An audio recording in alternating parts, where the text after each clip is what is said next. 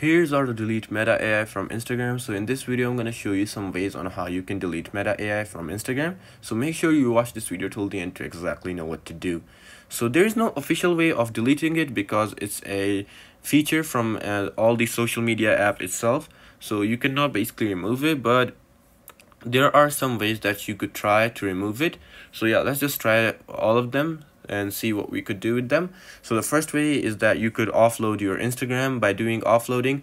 So you there is some chance that you could remove it. So how do you offload? You go to settings first and then you go to general. Once you go to general, just go ahead and press on iPhone storage. Once you go to iPhone storage, just scroll down and you will see Instagram. Just press on Instagram. And here you will see the option of offload app. Just press on it and there you can offload the app itself. And this might remove Meta AI from it, but yeah i've seen majority of people do this and it's not gonna remove it for for them but uh, some people claim that it's removing it for them so you should try it uh, if you really want to remove meta ai and the other way is just reporting instagram that you really don't need the meta ai for yourself. So reporting is basically very easy. You just have to go to your account settings and press on report.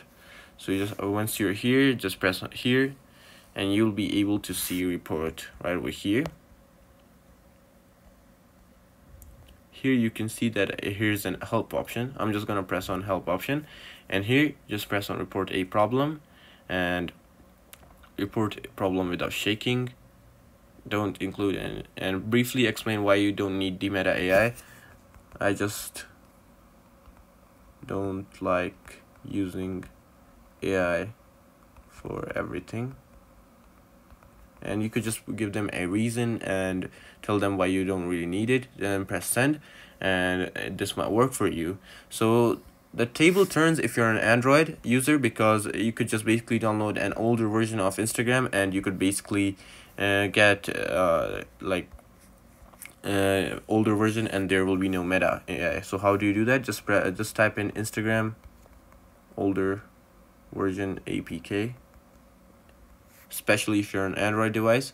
Here you can see there are all the versions of Instagram. You could download it from any other website.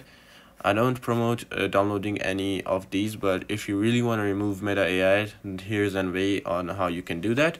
But yeah, that's basically it on how you can delete Meta AI from Instagram.